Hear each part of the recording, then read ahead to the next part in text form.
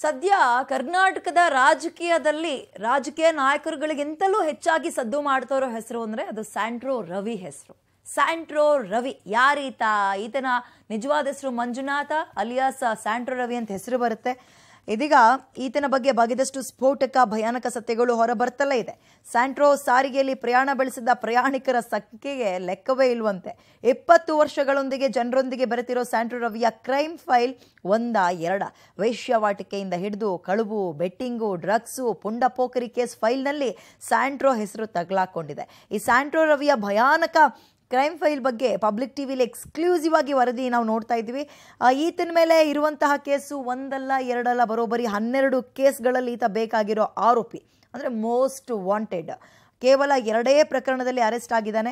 ಜಾಮೀನ್ ಮೇಲೆ ಬಂದ ಮೇಲೂ ಕೂಡ ತನ್ನ ಹಳೆಯ ಚಾಳಿಯನ್ನು ಮುಂದುವರಿಸ್ಕೊಂಡು ಹೋಗಿದ್ದ. ಹಾಗಾದರೆ ಈ ರವಿ ಮೇಲಿರೋ ಪ್ರಕರಣ ಯಾವುದು? ಈತನ ಘನಂದಾರಿ ಕೆಲಸಗಳು ಏನು? ನೋಡ್ಬಿಡೋಣ. ಸ್ಯಾಂಟ್ರೋ ರವಿ ಕೇಸ್ ಫೈಲ್ ಹೇಗಿದೆಯಪ್ಪ ಅಂದರೆ ಕೇಸ್ ನಂಬರ್ ಒನ್, ಬೆಂಗಳೂರಿನ ಜೆ ಪಿ ನಗರ ಪೊಲೀಸ್ ಠಾಣೆಯಲ್ಲೂ ಕೂಡ ಈತನ ಮೇಲೆ ಕೇಸ್ ಇದೆ. ವಿಚಾರ ಏನಪ್ಪ ಅಂತ ಹೇಳಿದ್ರೆ, ಮನೆಯಲ್ಲಿ ಮನೆಯಲ್ಲಿ ಹೆಣ್ಣು ಮಕ್ಕಳನ್ನು ಇಟ್ಕೊಂಡು ವೇಶ್ಯಾವಾಟಿಗೆ ಮಾಂಸದಂತಿಯನ್ನು ಹೀ ಈಸ್ ಅ ಪಿಂಪ್ ಅಷ್ಟೇ. ಈತ ಒಬ್ಬ ಪಿಂಪ್ ಹೆಣ್ಣು ಮಕ್ಕಳನ್ನು ಇಟ್ಕೊಂಡು ಮುಂದಿಟ್ಕೊಂಡು ವೇಶ್ಯಾವಾಟಿಕೆ ದಂಧೆ ನಡೆಸ್ತಾ ಇದ್ದ ಪಿಂಪ್ ಈತ ಕೇಸ್ ನಂಬರ್ ಒನ್ ನೋಡಿದ್ವಿ ನಾವು, ಇಪ್ಪತ್ತೊಂಬತ್ತು, ನಾಲ್ಕು, ಎರಡು ಸಾವಿರದ ಐದರಲ್ಲಿ, ಎಲ್ಲಿ? ಬೆಂಗಳೂರಿನ ಜೆ ಪಿ ನಗರದಲ್ಲಿ. ಅದೇ ಕುವೆಂಪು ನಗರ ಪೊಲೀಸ್ ಠಾಣೆಯಲ್ಲೂ ಕೂಡ ಈತನ ಮೇಲೆ ಕೇಸ್ ಇದೆ. ಅದು ಮನೆಯಲ್ಲಿ ಗೌರಿಬಿದನೂರು ಮಹಿಳೆಯನ್ನ ಇಟ್ಕೊಂಡು ವೇಷವಟಿಕೆ ಅದೇ ವಿಚಾರ. ಈತ ಬೆಂಗಳೂರಿಗೆ ಬಂದಿದ್ದ ಉದ್ದೇಶನೇ ಇದನ್ನ ನಡೆಸೋಕ ಅಂತ ಊರು ಬೇರೆ ದೊಡ್ಡದಾಗಿದೆ ತಾನು ಆಡಿದ್ದೇ ಆಟ, ನಡೆಸಿದ್ದೇ ಚಾಳಿ ಅನ್ನೋ ರೀತಿಯಲ್ಲಿ. ಮನೆಯಲ್ಲಿ ಗೌರಿಬಿದನೂರು ಊರಿನ ಒಬ್ಬ ಮಹಿಳೆಯನ್ನು ಇಟ್ಕೊಂಡು ವೇಶ್ಯಾವಾಟಿಕೆ ನಡೆಸ್ತಾ ಇದ್ದ. Case number three, Ilwala police ಠಾಣೆಯಲ್ಲೂ ಕೂಡ ಈತನ ವಿರುದ್ಧ ಕೇಸ್ ಇದೆ ಇಲ್ಲೂ ಕೂಡ ಈ ಪಿಂಪ್ನ ಕೆಲಸವನ್ನೇ ಮಾಡಿದ್ದಾನೆ ಮಾಂಸದಂಧಿಯನ್ನೇ ಮುಂದುವರಿಸ್ಕೊಂಡು ಹೋಗಿದ್ದಾನೆ ಇಲ್ವಾಲ ಪೊಲೀಸ್ ಠಾಣೆಯಲ್ಲಿ. ಮನೆಯಲ್ಲಿ ಹುಡುಗಿಯರನ್ನ ಇಟ್ಕೊಂಡು ವೇಶ್ಯವಾಟಿಕೆ ನಡೆಸ್ತಾ ಇದ್ದ. ಆಮೇಲೆ ಈತ, ನಾವೆಲ್ಲ ಈಗ ಮನೆಗೆ ಉಳ್ಕೊ ಉಳ್ಕೊಳ್ಳೋಕ್ಕೆ ಬೆಂಗಳೂರಿನಲ್ಲಿ one B H K, two B H K ಅಂತ ಹುಡುಕ್ತೀವಲ್ಲ, ಹಾಗೆ ಬಂಗಲೆಗಳನ್ನು ಹುಡುಕ್ತಾ ಇದ್ದ ವೇಶ್ಯಾವಾಟಿಕೆಯನ್ನು ನಡೆಸೋದಕ್ಕೆ. ಓಕೆ ಮುಂದೆ ನೋಡ್ತಾ ಹೋಗೋಣ. ಇದಿಷ್ಟು ಈತನ ಮೇಲೆ ಬೆಂಗಳೂರಿನಲ್ಲಿರೋ ಕೇಸ್ಗಳಾದರೆ, ನರಸಿಂಹರಾಜ ಪೊಲೀಸ್ ಠಾಣೆಯಲ್ಲೂ ಕೂಡ ಇದೆ. ಇಲ್ಲಿ ವೇಶ್ಯವಾಟಿಕೆ ವಿಚಾರಕ್ಕೆ ಸಂಬಂಧಪಟ್ಟಂತ ಒಂದೇ ಅಲ್ಲ, ಕಾರು ಕಳ್ಳತನ ಪ್ರಕರಣ ಕೂಡ ಇದೆ. ಇವನು ಬರೀ ವೇಶ್ಯವಾಟಿಕೆ ನಡೆಸ್ತಾ ಇದ್ದ ಪಿಂಪ್ ಮಾತ್ರ ಅಲ್ಲ, ಕಳ್ಳತನದ ಕೇಸ್ ಕೂಡ ಇದೆ. ದೊಡ್ಡ ಕಳ್ಳ ಇವನು. ಕಾರ್ ಯಾವುದು ಚಿಕ್ಕ ಪುಟ್ಟ ಕಾರ್ ಕದೀತಾ ಇರಲಿಲ್ಲ ಐಷಾರಾಮಿ ಕಾರ್ಗಳನ್ನು ಚಂಗಂತ ಹಾರಿಸ್ಬಿಡ್ತಾ ಇದ್ದ. ಕಾರ್ ಕದ್ದು ಫೋಟೋ ವಾಟ್ಸಪ್ ಸ್ಟೇಟಸ್ ಎಲ್ಲ ಹಾಕ್ಕೊಂಡು, ಹೆಣ್ಣುಮಕ್ಳನ್ನ ಬೀಳಿಸ್ಕೊಂಡು, ಆಶೆ, ಆಸೆ, ಆಮಿಷವನ್ನು ತೋರಿಸ್ಕೊಂಡು ಈ ರೀತಿಯ ವಿಚಾರವನ್ನು ಮಾಡ್ಕೊಂಡು ಬರ್ತಾ ಇದ್ದ. ಓಕೆ ಮಂಡಿ ಮೊಹಲ್ಲಾ ಪೊಲೀಸ್ ಠಾಣೆ. ಇಲ್ಲಿ ಯಮಹಾ ಬೈಕ್ ಕಳ್ಳತನ ಪ್ರಕರಣ. ನೋಡಿ ಬಯ್ಯೋ ಕಾರ್ ಮಾತ್ರ ಅನ್ಕೊಂಡಿದ್ದೀವಿ ಇಲ್ಲ, ಬೈಕ್ನೂ ಕೂಡ ಕಳ್ಳತನ ಮಾಡಿದ್ದಾನೆ. ಯಮಹಾ ಬೈಕ್ ಕಳ್ಳತನದ ಪ್ರಕರಣ ಈತನ ಮೇಲಿದೆ. ನರಸಿಂಹರಾಜ ಪೊಲೀಸ್ ಠಾಣೆಗೆ ಹೋದರೆ ಅಲ್ಲಿ ಇನ್ನೊಂದು ಸೇಮ್ ಬೈಕ್ನ ಕಳ್ಳತನ ಮಾಡಿದ್ದಾನೆ. ನಜರಾಬಾದ್ ಪೊಲೀಸ್ ಸ್ಟೇಷನಲ್ಲಿ ಕಾಲೇಜು ಯುವತಿಯನ್ನ ಕಿಡ್ನ್ಯಾಪ್ ಮಾಡಿದ್ದಾನೆ ಮತ್ತು ಮದುವೆ ಮಾಡ್ಕೊಂಡ ಪ್ರಕರಣ ಕೂಡ ಈತನ ಮೇಲಿದೆ. ಆತನ ಪತ್ನಿ ಹೇಳ್ತಾ ಇದ್ರು, ಅಯ್ಯೋ, ಯಾವ ಹೆಂಡತಿನೂ ಗಂಡನ ಬಗ್ಗೆ ಆ ಥರ ಮಾತುಗಳ ಆಡಲ್ಲ. ಅಂತ ಮಾತುಗಳನ್ನು ಹೇಳಿದಾರೆ ಆಕೆ. ಆಕೆ ಇನ್ನೆಷ್ಟು ನೊಂದಿರ್ಬೋದು ಹಾಗಾದ್ರೆ? ಕಾಲೇಜ್ ಹೆಣ್ಮಗಳೊಬ್ಳನ್ನ ಕೆಲಸ ಕೊಡಿಸ್ತೀನಿ ಅಂತ ಆಸೆ ಆಮಿಷವನ್ನು ಒಡ್ಡಿ ಅಪಹರಣ ಮಾಡಿ ಅಥವಾ ಕಿಡ್ನಾಪ್ ಮಾಡಿಕೊಂಡು ಮದುವೆ ಮಾಡ್ಕೊಂಡಿದ್ದಾನೆ. ಮದುವೆ ಮಾಡ್ಕೊಂಡು ಆದ್ಮೇಲೆ ನಟ್ಟಿಗೆ ಅವ್ರ ಇವ್ರ ಜೊತೆ ಕಳ್ಸೋಕೆ ನೋಡ್ತಿದ್ನಂತೆ. ಅಂಥ ಕಾಮುಕ ಇವನು. ಏನೋ ದೇವರಾಜ ಪೊಲೀಸ್ ಠಾಣೆಯಲ್ಲಿ ಒಂದು ಕೇಸ್ ಇದೆ ಜಾಮೀನು ಪಡೆದು ತಲೆ ಮರೆಸ್ಕೊಂಡು ಜಾಮೀನು ಪಡೆದ ಮೇಲೆ ಎಲ್ಲಿ ಬೇಕಲ್ಲಿ ಓಡಾಡೋ ಹಾಗಿರಲ್ಲ, ಕೆಲವೊಂದು ರಿಸ್ಟ್ರಿಕ್ಷನ್ ಇರುತ್ತೆ. ಆದರೆ ಈತ ಜಾಮೀನನ್ನು ಪಡೆದುಕೊಂಡು ಎಲ್ಲ ಕದ್ದು ಹೋಗಿದ್ದಂತೆ, ಜ ತಲೆ ಮರೆಸ್ಕೊಂಡಿದ್ದ ಆ ಪ್ರಕರಣ ಕೂಡ ದೇವರಾಜ್ ಪೊಲೀಸ್ ಠಾಣೆಯಲ್ಲಿದೆ. ಏನು ಬೆಂಗಳೂರಿನ ತಿಲಕನಗರ ಪೊಲೀಸ್ ಠಾಣೆಯಲ್ಲಿ ಒಂದು ಕೇಸ್ ಇದೆ. ಅದು ಮಾರುತಿ ವ್ಯಾನ್ ಕಳವು ಪ್ರಕರಣ. ನಾವು ಐಷಾರಾಮಿ ಬರೀ ಕಾರ್ಗಳಂತಿದ್ವಿ. ವ್ಯಾನು ಬಿಟ್ಟಿಲ್ಲ ವ್ಯಾನು ಕಳ್ತನ ಮಾಡಿದನಂತೆ. ಈತನಿಗೆ ಇನ್ನೇನು ಚಾಳಿ ಬಿಟ್ಟಿದೆ? ಇರೋ ಬರೋ ಎಲ್ಲ ಕೇಸ್ಗಳು ಈತನ ಮೇಲೆ ಇದೆಯಲ್ಲ ಓಕೆ, ಇನ್ನು ಮೈಕೋ ಲೇಔಟ್ ಪೊಲೀಸ್ ಠಾಣೆ ಅಂತ ನೋಡೋದಾದರೆ, ಇಲ್ಲಿ ಮಾರುತಿ ಏಯ್ಟ್ ಹಂಡ್ರೆಡ್ನೂ ಬಿಟ್ಟಿಲ್ಲ ಈತ. ಇವನ ಹೆಸರು ಸ್ಯಾಂಟ್ರೋ ರವಿ ಮಂಜುನಾಥ ಅಂತ ಪಾಪ ಅವ್ರ ಅಪ್ಪ, ಅಮ್ಮ ಇಟ್ಟಿರೋ ಹೆಸರು ನಿಯತ್ತಾಗಿ ನ್ಯಾಯವಾಗಿ ಮಂಜುನಾಥ್ ಅಂತ ಹೆಸರಿಟ್ಟಿದ್ರು. ಇವನು ಸ್ಯಾಂಟ್ರೋ ಕಾರ್ನ ತಗೊಂಡು ಅದರಲ್ಲೊಂದು ಇದೇ ವೇಶ್ಯವಾಟಿಕೆ ದಂಧೆ ನಡೆಸ್ತಾ ಇರ್ತಾರೆ, ಹೆಣ್ಮಕ್ಳನ್ನ ಆ ಕಡೆಯಿಂದ ಈ ಕಡೆಗೆ ಸಾಗಾಟ ಮಾಡೋದು. ಆಗಿಂದ ಇವನಿಗೆ ಸ್ಯಾಂಟ್ರೋ ರವಿ ಅಂತಲೇ ಕರೀತಾರಂತೆ. ಮಾರುತಿ ಏಯ್ಟ್ ಹಂಡ್ರೆಡೂ ಬಿಟ್ಟಿಲ್ಲ ಈತ. ಇನ್ನು ಮೈಕೋಲೇಔಟ್ ಪೊಲೀಸ್ ಠಾಣೆಯಲ್ಲಿ ಕೈನೆಟಿಕ್ ಹೋಂಡಾ ಕಳವು ಪ್ರಕರಣ ಇದೆ. Bengaluru Jayanagar police ಸ್ಟೇಷನಲ್ಲಿ R X hundred Yamaha bike ಕಳ್ತನ ಮಾಡಿರೋ ಕೇಸ್ಗಳಿದೆ. ಬರೀ ಬೆಂಗಳೂರಿಂದ ಹೇಳ್ತಾ ಇದೀವಿ. ನಾವು ಎಷ್ಟು ಸಾಧ್ಯವೋ ಅಷ್ಟನ್ನು ನಿಮ್ಮ ಮುಂದಿಡೋಕೆ ಪ್ರಯತ್ನ ಪಡ್ತಾ ಇದ್ದೀವಿ ಇಷ್ಟಕ್ಕೆ ಅಲ್ಲ, ಈತನ ಕೈ ಚಳಕ ಇಷ್ಟಕ್ಕೆ ಮಾತ್ರ ಸೀಮಿತ ಆಗಿಲ್ಲ. ಎಲ್ಲದರಲ್ಲೂ ಈತ ಇದ್ದಾನೆ. ಈತ ಒಬ್ಬ ರೌಡಿ, ಈತ ಒಬ್ಬ ಕಳ್ಳ, ಈತ ಒಬ್ಬ ಪಿಂಪು, ಏನಿಲ್ಲ ಈತನ ಮೇಲೆ. ಹೆಚ್ಚಿನ ಡೀಟೇಲ್ಸ್ ನಮ್ಮ ಪ್ರತಿನಿಧಿ ಕ್ರೈಮ್ ಬ್ಯೂರೋ ಚೀಫ್ ಮುರಳಿ ನೀಡ್ತಾರೆ. Good morning Murali. ಅಲ್ಲ, ಈ ಸ್ಯಾಂಟ್ರೋ ರವಿ ಸುದ್ದಿಯನ್ನು ಕಳೆದ ಒಂದು ವಾರದಿಂದ ನಿರಂತರವಾಗಿ ನೋಡಿ ನೋಡಿ ಮುರಳಿ ಹೆಂಗಾಗ್ಬಿಟ್ಟಿದೆ ಅಂದರೆ, ಈತನ ವಿರುದ್ಧ ಏನೇ ಒಂದು ಹೊಸ ಹೊಸ ಆರೋಪಗಳು ಕೇಳಿ ಬಂದ್ರು, ಸುದ್ದಿ ಕೇಳಿ ಬಂದ್ರು ಇದೇನ್ ಮಹಾಬಿಡು ಅನ್ನೋಂಗೆ ಆಗ್ಬಿಟ್ಟಿದೆ ಎಲ್ಲವೂ ಯಾವುದು ಆಶ್ಚರ್ಯ ಪಡುವಂಥ ಸುದ್ದಿಗಳೇ ಇಲ್ಲ ಈತನ ಮೇಲೆ. ಖಂಡಿತವಾಗಿ ವಿದ್ಯಾ ಯಾಕಂದ್ರೆ ಆಡು ಮುಟ್ಟದ ಸೊಪ್ಪಿಲ್ಲ ಅನ್ನೋ ರೀತಿಯಲ್ಲಿ ಸ್ಟ್ಯಾಂಡ್ ಮಾಡದೇ ಇರುವಂತ ಕೆಲಸ ಇಲ್ಲ ಅನ್ನೋದು ಇಲ್ಲಿ ಸ್ಪಷ್ಟವಾಗಿ ಗೊತ್ತಾಗ್ತಾ ಇರೋಂಥದ್ದು ಯಾಕಂದ್ರೆ ಆತನ ಮೇಲೆ ಎಲ್ಲರೂ ಕೂಡ ಮೊದಲು, ಅಂದ್ರೆ ಎಚ್ ಡಿ ಕುಮಾರಸ್ವಾಮಿ ಅವರು ಆರೋಪ ಮಾಡಿದ ಸಂದರ್ಭದಲ್ಲಿ ಆತ ಒಂದು ವರ್ಗಾವಣೆ ದಂಧೆಯಲ್ಲಿದ್ದಾನೆ ಮತ್ತು ಪೊಲೀಸ್ ಅಧಿಕಾರಿಗಳ ಜೊತೆಯಲ್ಲಿ ಹಣವನ್ನು ಪಡ್ಕೊಳ್ತಾನೆ ರಾಜ್ಯ ಅಧಿಕಾರಿಗಳ ಜೊತೆಯಲ್ಲಿ ನಂಟನ್ನು ಇಟ್ಕೊಂಡಿದ್ದಾನೆ ಅನ್ನೋದ್ರ ಬಗ್ಗೆ ಮಾತ್ರ ಮಾಹಿತಿ ಇತ್ತು.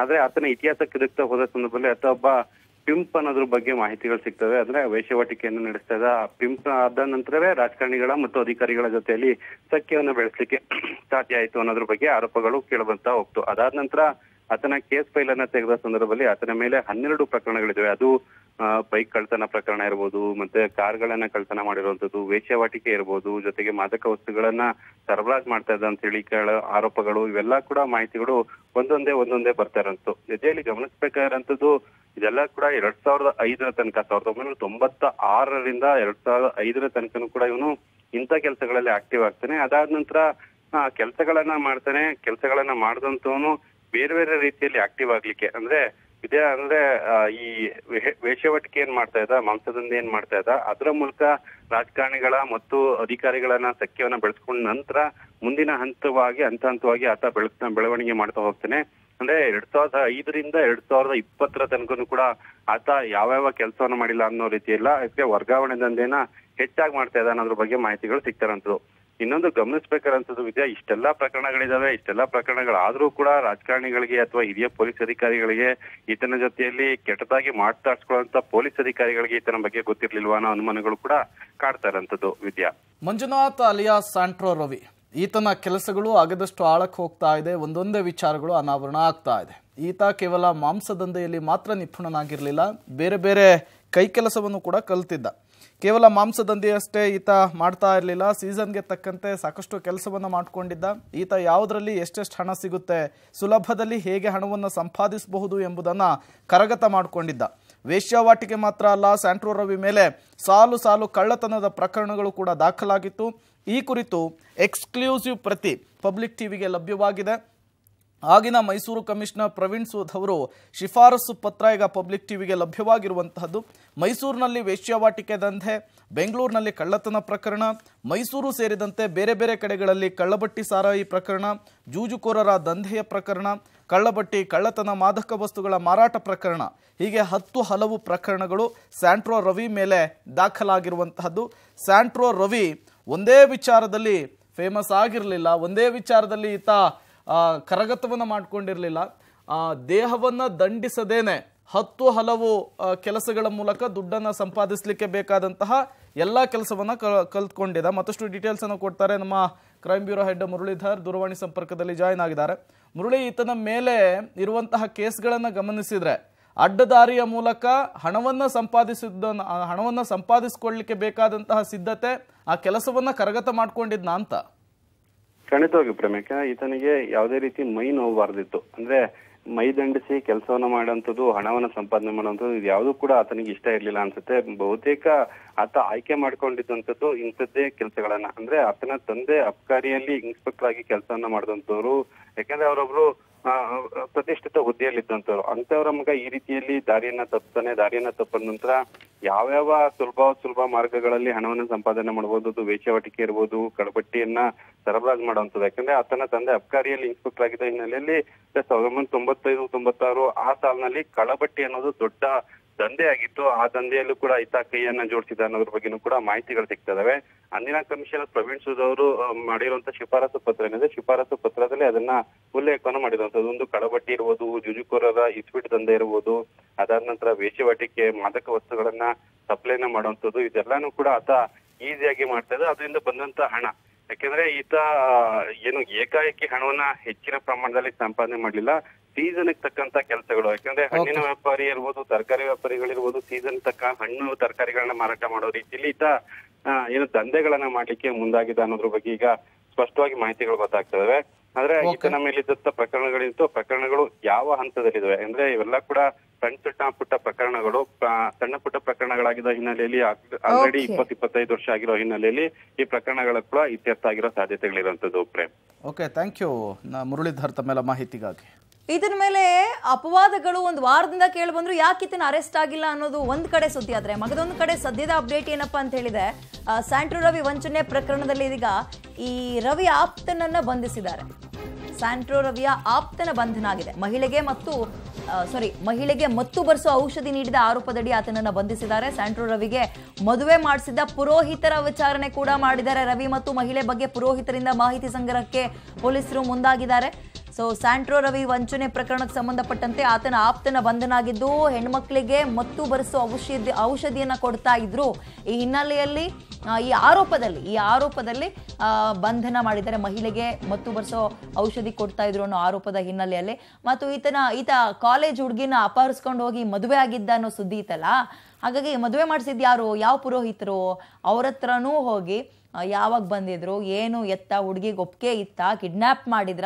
ಅಂದ್ರೆ ಈಗ ಇದು ನಾವು ಬೇಸಿಕ್ ಆಗಿ ಹೇಳ್ತಾ ಇದ್ವಿ. ಪೊಲೀಸರು ಅವ್ರದ್ದು ಆ್ಯಂಗಲಲ್ಲಿ ಹೋಗ್ತಾರೆ. ಈ ರೀತಿಯ ವಿಚಾರಣೆಯನ್ನ ಪೊಲೀಸರು ಪುರೋಹಿತರ ಹತ್ರನೂ ಬಿಟ್ಟಿಲ್ಲ. ಪುರೋಹಿತರ ಹತ್ರ ಪುರೋಹಿತರ ಹತ್ರನೂ ಕೂಡ ಮಾಡ್ತಾ ಇದ್ದಾರೆ. ಬಟ್ ಪ್ರಶ್ನೆ ವಿಚಾರಣೆ ಏನೋ ಮಾಡ್ತಾ ಇದ್ದಾರೆ ಯಾರು? ಮದುವೆ ಮಾಡಿಸಿದ ಪುರೋಹಿತರು ಯಾರು?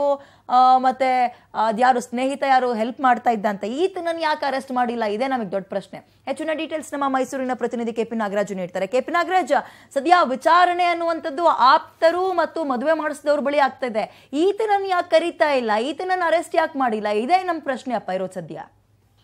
ಎಲ್ರಿಗೂ ಇರುವಂತ ಕುತೂಹಲ ಅದೊಂದೇ ಪ್ರಶ್ನೆ ವಿದ್ಯೆ. ಯಾಕಂದ್ರೆ ಸೆಂಟ್ರೋ ವಿರುದ್ಧ ಕೇಸ್ ದಾಖಲಾಗಿ ಇವತ್ತಿಗೆ ಏಳನೇ ದಿನ. ಏಳು ದಿನವಾದರೂ ಕೂಡ ಇನ್ನೂ ಸೆಂಟ್ರೋ ರವಿಯ ಬಂಧನವಾಗಿಲ್ಲ. ಈಗಾಗಲೇ ಸೆಂಟ್ರೋ ರವಿ ಕೂಡ ಆ ವಕೀಲರ ಮೂಲಕವಾಗಿ ನಿರೀಕ್ಷಣಾ ಜಾಮೀನಿಗೆ ಅರ್ಜಿ ಸಲ್ಲಿಸಿದ್ದಾನೆ. ಆದ್ರೆ, ಈ ನಡುವೆ ಒಂದೇ ಒಂದು ಬೆಳವಣಿಗೆ ಆಗಿರುವಂತಹದ್ದು ಏನು, ಮಹಿಳೆ ನೀಡಿದ ಸಂತ್ರಸ್ತರಾಗಿರುವಂತಹ ದೂರಿನ ಆಧಾರದಲ್ಲಿ ಆಕೆಗೆ, ಈ ರೀತಿಯಾಗಿ ಮತ್ತು ಬರೆಸುವಂತಹ ಅಂಶವನ್ನ ನಾವು ನ್ಯೂಸ್ ಒಳಗಡೆ ಹಾಕಿಕೊಟ್ಟಂತಹ ಸೆಂಟ್ರೋ ರವಿಯ ಆಪ್ತನನ್ನ ಪೊಲೀಸರು ಬಂಧಿಸಿದ್ದಾರೆ. ಜೊತೆಗೆ ಆ ಮಹಿಳೆಯನ್ನ ಮದುವೆ ಆದಂತಹ ಸಂದರ್ಭದಲ್ಲಿ ಆ ಪೂರೈಕೆ ವಹಿಸಿದಂತಹ ವ್ಯಕ್ತಿಯನ್ನು ಕೂಡ ಪೊಲೀಸರು ವಿಚಾರಣೆಗೆ ಒಳಪಡಿಸಿದ್ದಾರೆ. ಇವೆಲ್ಲವೂ ಕೂಡ ಏನು ವಿಚಾರಣೆಯ ಆರಂಭದಲ್ಲಿ ಆರಂಭದ ಭಾಗಗಳು. ಪ್ರಶ್ನೆ ಇರುವಂತಹದ್ದೇ ಸ್ಯಾಂಟ್ರ ರವಿಯ ಬಂಧನ ಯಾಕೆ ಆಗ್ತಾ ಇಲ್ಲ ಅನ್ನುವಂತಹದ್ದು ಯಾಕಂದ್ರೆ ಈ ರೀತಿಯಾಗಿ ಅವರ ಆಪ್ತ ಸಹಾಯಕರನ್ನ ಬಂಧಿಸುವಂತಹದ್ದು ಅಥವಾ ಮದುವೆ ಮಾಡಿದವ್ರನ್ನ ವಿಚಾರಣೆಗೆ ಮಾಡುವಂತಹದ್ದು ಮದುವೆ ಮಾಡಿದಂತ ಪುರೋಹಿತರನ್ನ ವಿಚಾರಣೆ ಮಾಡಿದ್ರೆ ಏನ್ ಬರುತ್ತೆ? ಯಾಕಂದ್ರೆ ಮದುವೆ ಮಾಡಿದಂತ ಪುರೋಹಿತರಿಗೆ ಇದೆಲ್ಲದೂ ಹಿನ್ನೆಲೆ ಗೊತ್ತಿರುತ್ತೆ ಅಂತ ಅನ್ಕೊಳ್ಳೋದೇ ತಪ್ಪಾಗಿರುತ್ತೆ. ಹೀಗಾಗಿ ಇವು ಕೇವಲ ಆರಂಭಿಕವಾದಂತಹ ಸ್ಟೆಪ್ಗಳು ಸ್ಯಾಂಟ್ರೋವಿ ಬಂಧನವಾಗುವವರೆಗೂ ಕೂಡ ಇಡೀ ಒಟ್ಟಾರೆ ಪ್ರಕರಣದ ಸತ್ಯಾಸತ್ಯತೆಗಳು ಅಥವಾ ಇದಕ್ಕೆ ಈಗ ಸಾಮಾಜಿಕ ಜಾಲತಾಣಗಳಲ್ಲಿ ಹರಿದಾಡ್ತಾ ಇರುವಂತಹ ಸ್ಕ್ರೀನ್ ಶಾಟ್ಗಳೇನು ಇರ್ಬೋದು ಇವ್- ಇವೆಲ್ಲದರ ಒಟ್ಟಾರೆ ಸತ್ಯಗಳು ಬಯಲಾಗುತ್ತೆ. ಪೊಲೀಸ್ನವರ ಮೇಲೆ ಏನು ಪ್ರೆಷರ್ ಇದೆಯೋ ಅಥವಾ ಈತ ಪೊಲೀಸರನ್ನೇ ಯಾಮಾರಿಸಿ ಅಜ್ಞಾತವಾಸದ ಅಜ್ಞಾತ ಸ್ಥಳದಲ್ಲಿದ್ದಾನೋ ಅಥವಾ ನಿರೀಕ್ಷಣಾ ಜಾಮೀನಿಗೋಸ್ಕರವಾಗಿ ಈತ ಈ ರೀತಿಯಾದಂತಹ ತಂತ್ರಗಳನ್ನ ಉಪಯೋಗಿಸ್ತಾ ಇದ್ದಾನೆ ಇವೆಲ್ಲವೂ ಕೂಡ ಪ್ರಶ್ನೆಗಳಾಗಿದ್ದಾವೆ. ಸದ್ಯಕ್ಕಂತೂ ಪೊಲೀಸ್ನವರ ನಡೆಗಳ ಬಗ್ಗೆನೇ. ಕೆಲವೊಂದಿಷ್ಟು ಅನುಮಾನಗಳು ಹುಟ್ಟುತ್ತಾ ಇದ್ದಾವೆ ವಿದ್ಯಾ. ಧನ್ಯವಾದ ಕೆಪಿ ನಾಗರಾಜ್ ತಮ್ಮೆಲ್ಲ ಮಾಹಿತಿಗೆ.